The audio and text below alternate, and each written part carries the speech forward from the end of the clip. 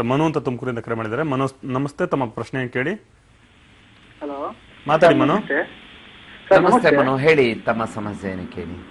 ಆ, ಸರ್ ನಮಸ್ತೆ. ಏನಿಲ್ಲ ಸರ್ ನನಗೆ ಇಪ್ಪತ್ತೆಂಟು ವರ್ಷ ಇದೆ ಏಜ್ ಈಗ ಒಂದು ಆರು ವರ್ಷದಿಂದ ಅಷ್ಟಮೈತನ ಚಟ ಇದೆ. ಅದು ಅಂದ್ರೆ ದೇಹದ ಒಂದು ಆರೋಗ್ಯದ ಮೇಲೆ ಏನಾದ್ರು ಎಫೆಕ್ಟ್ ಆಗುತ್ತೆ ಸರ್? ಆತರ ಇದ್ರೆ ಅಂದ್ರೆ ಬೇರೆ ಯಾವುದು ಲೈಂಗಿಕ ಕ್ರಿಯೆ ಆತರ ಏನು ದೊಡಸ್ಕೊಳಲ್ಲ ಹಾ ಹಾ ಆ, ಲ- ಲೈಂಗಿಕ ಆಸಕ್ತಿ ಬಂದಾಗ ಅಸ್ತಮೈತನ ಒಂದು ಅನ್ನೋದೊಂದು ಮಾಮೂಲಿ ಪುರುಷ ಪುರುಷರು ಇದ್ದೇ ಇರುತ್ತಲ್ವಾ? ಹೌದೌದು. ಹಂಗಾಗಿ ಆ ಒಂದು ಚಟ ಇದೆ. ಅದರಿಂದ ಹೊರ ಬರಬೇಕು. ಅಂದ್ರೆ ಹೊರ ಬರೋಕ್ಕೂ ಆಗಲ್ಲ ಸಾಧ್ಯ ಆಗಲ್ಲ. ಯಾಕೆಂದ್ರೆ ಬೇರೆ ಎಲ್ಲೂ ಯಾವ ಸ್ತ್ರೀ ಸ್ತ್ರೀ ಎಲ್ಲೂ ಸಂಪರ್ಕ ಇಲ್ವಲ್ಲ? ಮದ್ವೆ ಆಗಿಲ್ಲ ದೇಹದ ಆರೋಗ್ಯದ ಮೇಲೆ ಏನಾದ್ರು ಎಫೆಕ್ಟ್ ಆಗುತ್ತಾ? ಅಂದ್ರೆ ವೀರ್ಯ ಹೊರಗಡೆ ಹೋದ್ರೆ ದೇಹದಲ್ಲಿ ಆರೋಗ್ಯ ಸ್ಥಿತಿ ಏನಾದ್ರೂ ಕಡಿಮೆ ಆಗುತ್ತಾ? ಅಥವಾ ಆತರ ತರ ಅದನ್ನ ಅಭ್ಯಾಸನ ಬಿಟ್ಬಿಡ್ಬೇಕಂತ? ಮದ್ವೆ ಆಗಿಲ್ಲ ಅಲ್ವಾ ಇನ್ನು? ಇಲ್ಲ ಇಲ್ಲ.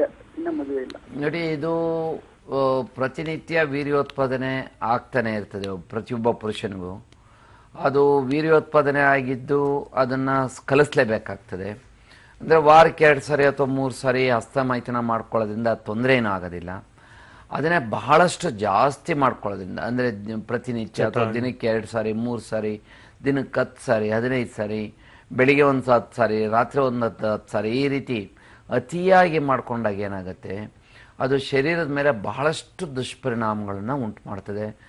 ನರಗಳ ದೌರ್ಬಲ್ಯ ಉಂಟಾಗುತ್ತೆ.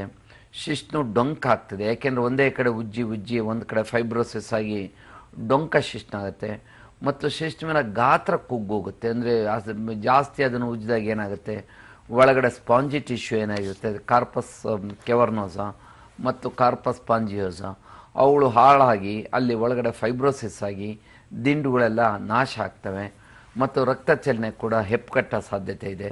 ಆದ್ದರಿಂದ ಅತಿಯಾಗಿ ಈ ಹಸ್ತಮೈಥುನ ಮಾಡ್ಕೊಳ್ಳೋದ್ರಿಂದ ಬಹಳಷ್ಟು ತೊಂದರೆಗಳು ಬರೋ ಸಾಧ್ಯತೆ ಇದೆ. ಮತ್ತು ಮನಸ್ಸಿನ ಮೇಲೆ ಕೂಡ ಮಾನಸಿಕ ಒತ್ತಡ ಮತ್ತು ದುಷ್ಪರಿಣಾಮ ಉಂಟಾಗೋ ಸಾಧ್ಯತೆ ಇದೆ.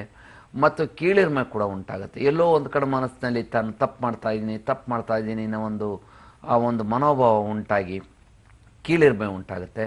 ಅದರಿಂದ ಅತಿಯಾಗಿ ಮಾಡ್ಕೊಳ್ಳೋದು ಬೇಡ. ಆದರೆ ವಾರಕ್ಕೆ ಎರಡು ಸಾರಿ ಅಥವಾ ಮೂರು ಸಾರಿ ಮಾಡ್ಕೊಳ್ಳೋದು ಅತ್ಯಂತ ಸ್ವಾಭಾವಿಕ ಕ್ರಿಯೆ, ನೈಸರ್ಗಿಕ ಕ್ರಿಯೆ. It's a biological event natural event ಆದ್ದರಿಂದ ನೀವೇನು ಯೋಚನೆ ಮಾಡೋ ಅವಶ್ಯಕತೆ ಇಲ್ಲ.